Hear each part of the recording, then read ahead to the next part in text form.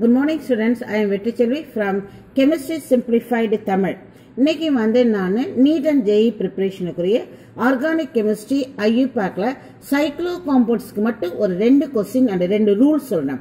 First என்ன rule அப்படின்னா cyclo காம்பவுண்டுக்கு பேர் வைக்கிறப்ப ஃபர்ஸ்ட் ரூல் இங்க சொல்றது ஆர்டர் ஆஃப் ப்ரையாரிட்டி அதாவது ஒரு ஆல்கஹால் குரூப் இருக்கு பிரான்ச்சிங் இருக்கு ஹேலஜன் இருக்கு. இப்படி மாதிரி இருக்கும் பொழுது ஆல்கஹாலா பிரான்ச்சிங் ஆல்கஹாலுக்கு லோயஸ்ட் நம்பர் வரணும். பிரான்ச்சிங்கா ஹேலஜனா பிரான்ச்சிங்க்கு லோயர் நம்பர் வரணும். இதுதான் நம்ம ஃபாலோ பண்ண வேண்டிய ரூல் இப்போ இதோட எக்ஸாம்பிள்ஸை பற்றி பேசுகிறோம் இங்கே ஒரு சைக்ளோ காம்பவுண்ட் கொடுத்துருக்கேன். இதில் பாருங்க. இது வந்து பிரான்ச்சிங் இது ஆல்கஹால் ஸோ இப்போ இது ரெண்டுத்துல எது order of priority alcohol so அப்போ இவனுக்கு நம்ம என்ன பண்ணுறோம் நம்பர் ஒன் வைக்கிறோம். இப்போ இதுக்கு நம்பர் டூ இவ்வளோ தான் முடிஞ்சிச்சு. இப்போ இதோடைய பேர். பேர் எழுதும்போது நவ் திஸ் இஸ் சப்ஸ்டிவண்ட் இப்போ ஐயூபேக் எழுதணுனாவே ஃபஸ்ட்டு ஒரு ஃபார்மேட் என்னென்னா பேரண்ட் ப்ளஸ் இங்கே ஃபங்க்ஷனல் குரூப் இங்கே சப்ஸ்டிடிவன் பேரண்ட் நான் சொல்கிறது எதை சொல்கிறேன் அப்படின்னா ரூட் வேர்ட் ப்ளஸ் வந்து primary suffix okay functional group என்ன ஆயிடும்னா செகண்டரி சஃபிக்ஸ் மாறும். சப்ஸ்டிவன் வந்து ப்ரீஃபிக்ஸ் ஆக மாறும். இது வந்து ஐயூபிஎஸ்சி ரூல் இதை நான் சிம்பிளிஃபை பண்ணுறது என்னென்னா ரூட்டையும் இதையும் சேர்த்துட்டு பேரண்ட் சொல்லுவேன் ஸோ என்னுடைய ஸ்டைலில் நான் பிள்ளைங்களுக்கு ஈஸியாக ஃபாலோ பண்ண கொடுக்கறது பேரண்ட் ஐடென்டிஃபை பண்ணு ஃபங்க்ஷனல் குரூப்பை பின்னாடி போடு சப்ஸ்டியூண்ட்டை முன்னாடி போடு. இப்போ நமக்கு பேரண்ட்டுங்கிறது இங்கே சைக்ளோ ஹெக்ஸேன் ஸோ அப்போ அதை நான் எழுதுறேன். That is call cyclo hexane first பேர் வச்சிருக்கேன். அடுத்தது உன்னுடைய ஃபங்க்ஷனல் குரூப் இங்கே யாரு? ஆல்கஹால் இங்கே இது கொடுத்துருக்கேன் ஆல்கஹாலுடைய பொசிஷன் என்னது? ஒன்று அப்போ அதை அங்கே கொடுக்குற. ஒன் போட்டு ஆல் போட்டுக்கும் அடுத்தது இந்த இடத்துல ஓ வரும்போது இந்த e ஈ அடிச்சிடும் ஓனா என்ன அர்த்தம்னா உங்கள் இங்கிலீஷில் சொல்லுவாங்க வவ்வல்ஸ்னு ஏஇ ஐ இதில் எது வந்தாலும் இது வந்து இங்கே வவ்வல்ஸ் வந்ததுன்னா இந்த ஈ அடிக்கப்படும். ஸோ இந்த இடத்த நான் முடிச்சிட்டேன் எதை முடிச்சிருக்கேன்? பேரண்ட்டையும் ஃபங்க்ஷனல் குரூப்பையும் முடிச்சிட்டேன். ஸோ இப்போ அடுத்தது சப்ஸ்டிடியூவண்ட்டை நம்ம ப்ரிஃபிக்ஸ் பண்ணணும். இந்த சப்ஸ்டிடியூவண்ட் யார் அப்படின்னா ரெண்டாவது கார்பன்ல இருக்கிற மெத்தில் குரூப் அப்போ அதை வந்து முன்னாடி கொடுங்க ப்ரிஃபிக்ஸ் பண்ணுங்க.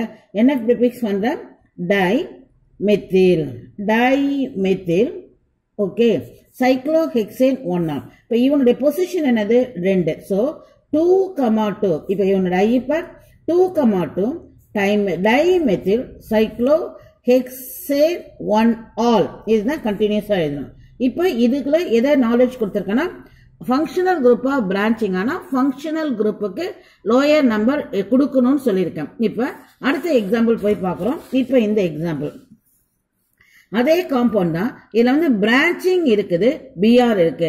ஸோ இப்போ ரூல்ஸ் என்னது? பிரான்ச்சிங்கா பிஆர் ஆர்டர் ரூல்ஸ் என்னது?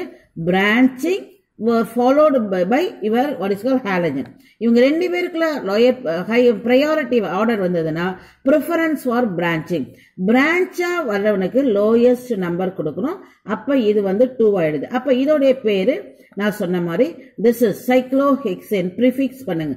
Cyclo hexane this is your root உன்னுடைய ஃபங்க்ஷன் குரூப் இருக்கானா? இல்ல. அப்ப என்ன கொடுக்குற? மீதி எல்லாமே உன்னுடைய prefix that is call substituent யாரு சப்ஸ்டிவன் புரோமினும் சப்ஸ்டிவன் இவங்க இப்படி போட்டாங்கன்னா அதோடைய பேர் அர்த்தம் என்னன்னா மெத்தில் குரூப் ஸோ மெத்திலும் சப்ஸ்டிவன் இப்போ உனக்காக எழுதுறேன். மெத்திலும் சப்ஸ்டிவன் புரோமோவும் சப்ஸ்டிவன் இப்போ இது ரெண்டையும் நீ அல்பபெட்ல கம்பேர் பண்ணிக்கிறீங்க. புரோமோ ஃபர்ஸ்ட் வருது. அதனால எழுதும் போது அதை தான் ஃபர்ஸ்ட் எழுதணும். இங்க கொடுக்குற பாருங்க. டூ புரோமோ டூ புரோமோ அப்புறம் ஒரு கோடு போட்டு என்னது ஒன்னுலயே மெத்தில் இருக்கப்ப ஒன் கமா ஒன் போட்டு அவனோட எழுதிடுங்க. That is call di methyl so two bromo one one di methyl cyclohexane இதுதான் இதோடைய ஐயூபேக் ஸோ இது எதுக்காக நான் எழுதுறேன் அப்படின்னா எப்படி நீ அதை அப்ரோச் பண்ணணுங்கிறதுக்காக தான் டீச் பண்ணியிருக்கேன். இப்போ அதே மாடல் தான் இன்னொரு ப்ராப்ளம் வரப்போகுது. இங்கே என்ன பண்ணுங்க? பிரான்ச்சிங் இருக்கு ஹாலஜன் இருக்கு. அதனால் பிரான்ச்சிங்காக ஒன் போட்டு டூ போட்டுனா இது பிரச்சனை இல்லை. இவ பேர் வைக்கும்போது என்னென்னா இந்த இடத்துல பாருங்கள் இது ஃப்ளூரோ இது வந்து மெத்தேன் இப்போ இதில் என்ன நம்ம பிரச்சனைனா நான் டைமெத்தின்னு எடுக்கிறேன். இப்போ இந்த இடத்துல பார்த்தீங்கன்னா டையும் புரோமோனா புரோமோ அல்பபெட்ல ஃபர்ஸ்ட் வருது நீ பேர் வச்சுட்ட. பிரச்சனை கிடையாது. இப்போ வந்து பாரு டையும் ஃப்ளூரோவும் வருது. அப்போ அல்பபெட்ல டை எஃப்க்கு முன்னாடி இருப்பதால் இதை ஃபர்ஸ்ட் எழுதணுமா அப்படின்னு கேட்டால் கூடாது. அதுதான் இங்கே முக்கியமான நாலேஜ் இந்த ரூல் இந்த இடத்துல எழுதியிருக்க பாருங்க ரெண்டாவது ரூல் டை வந்து அல்பபெட்டிக்லி ப்ரிசீட்ஸ் த எஃப் எஃப்க்கு முன்னாடி வருகிறது.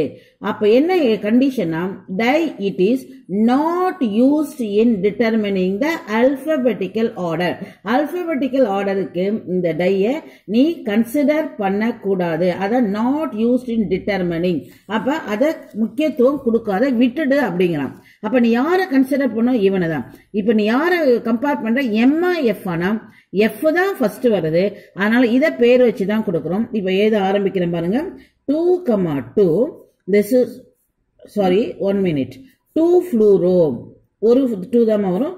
டூ ஃப்ளூரோ இந்த இடத்துல one comma one dimethyl dimethyl cyclo cyclo hexane இப்போ இதுதான் இதோடைய நேம் ஸோ இதில் என்ன நாலேஜ்னா ஃப்ளூரினை டைக்கு முன்னாடி எடுத்துக்கோ இந்த டையை கன்சிடர் பண்ணால் எம்முக்கு முன்னாடி வந்து நீ பேர் வச்சிடணும். So this is the second rule so with that I am completing today's topic again I am repeating the knowledge order of priority அல்கஹாலா பிரான்ச்சிங்கன்னா அல்கஹாலுக்கு நம்பர் ஒன் கொடுத்து இப்படியே போகிறேன் அதுக்கு கான்ட்ரவர்சியாக என்ன பண்ணியிருக்கேன்னா ஹேலஜனம் பிரான்ச்சிங் எடுத்துக்கிட்டேன். இந்த இடத்துல ஹேலஜனம் பிரான்ச்சிக்கு பிரான்ச்சிங் ஒன்று கொடுத்துருக்கேன். ஸோ அடுத்த ப்ராப்ளம் என்னென்னா பிஆர்ஆ எஃப் ஆனால் எஃப்ஐ வந்து என்ன பண்ணணும்? டையோட கம்பேர் பண்ணி இதுக்கு இம்பார்ட்டன்ட் கொடுக்கணும்னு அவசியம் இல்லை. நீ டையை விட்டுட்டு எம்எம் கன்சிடர் பண்ணி அல்பபெட்டில் எழுதினா போதுமானது. Thank you children